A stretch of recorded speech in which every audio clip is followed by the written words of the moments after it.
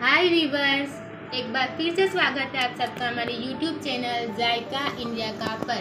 आज हम बनाने वाले हैं लजीज और स्मूथ मैंगो पुडिंग वो भी बड़े ही आसान तरीके से। तो चलिए शुरू करते हैं। मैंगो पुडिंग बनाने के लिए हमने यहाँ पर लिए हैं दो मीठे आम 250 सौ दूध, एक कटोरी चीनी, एक बड़ा चम्मच cornflour one four teaspoon यानी कि एक चुटकी नमक और नींबू। हमने यहाँ पर जो आम लिए थे, उनको छोटे छोटे पीसेस में कट करके ब्लेंड कर लिया है। यहाँ पर ब्लेंड करते वक्त हमने बिल्कुल भी पानी नहीं डाला था। अब इसमें हम नमक और चीनी को ऐड करेंगे। और एक बार फिर से ब्लेंड कर लेंगे। हमने चीनी और नमक डालकर मैंगो प्यूरी को एक बार फिर से ब्लेंड किया है।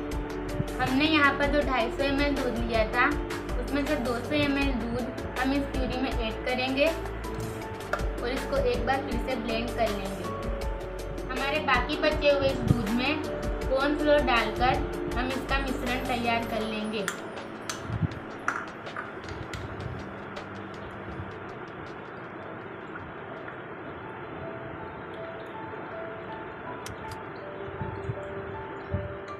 साथ ब्लेंड कर कर हमने जो प्यूरी तैयार की थी उसको पकाने के लिए हमने एक बर्तन में इसको लगातार हिलाते हुए इसमें उबाल आने तक हाई फ्लेम पर पकाते रहेंगे।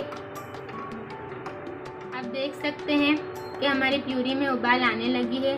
अब हम इसमें कॉर्नफ्लोर और दूध का मिश्रण ऐड कर देंगे और इसको लगातार हिलाते हुए पकाते रहेंगे जब तक कि ये गाढ़ा ना हो जाए। तकरीबन पाँच मिनट के बाद हमारी प्यूरी गाढ़ी हो चुकी है। अब हम गैस की फ्लेम को ऑफ़ कर देंगे और इसमें चार से पाँच ड्रॉप नींबू का रस ऐड करेंगे और इसको अच्छे से मिक्स कर लेंगे। गैस की फ्लेम को ऑफ़ करने के बाद हमने फ़ौरन प्यूरी को इस मोल में ट्रांसफ़र कर लिया है। अब हम इसको इस तरह से टेप करेंगे ताकि इसमें बबल्स ना रह जाए। और रूम टेम्परेचर पर इसको ठंडा होने के लिए एक घंटे के लिए रख देंगे। हमारी पुडिंग को रूम टेम्परेचर पर रखे हुए एक घंटा हो चुका है। अब हम इसको सेट होने के लिए फ्रीज में रख देंगे। हमने पुडिंग को एक घंटे रूम टेम्परेचर पर रखने के बाद तीन घंटे फ्रीज में रखा था।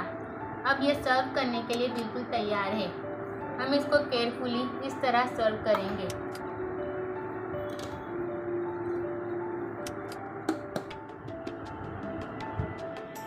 आप देख सकते हैं कि हमारी मैंगो पुडिंग कितने खूबसूरत तरीके से सेट हुई है। तो लीजिए, खाने के लिए बिल्कुल तैयार है हमारी लजीज और स्मूथ मैंगो पुडिंग अगर आपको हमारी वीडियो पसंद आई है तो वीडियो को लाइक और शेयर करें और कमेंट बॉक्स में हमें ज़रूर बताएँ कि आपको हमारी रेसिपी कैसी लगी। और हमारे चैनल को सब्सक्राइब करके बेल आइकन दबाना ना भूलें।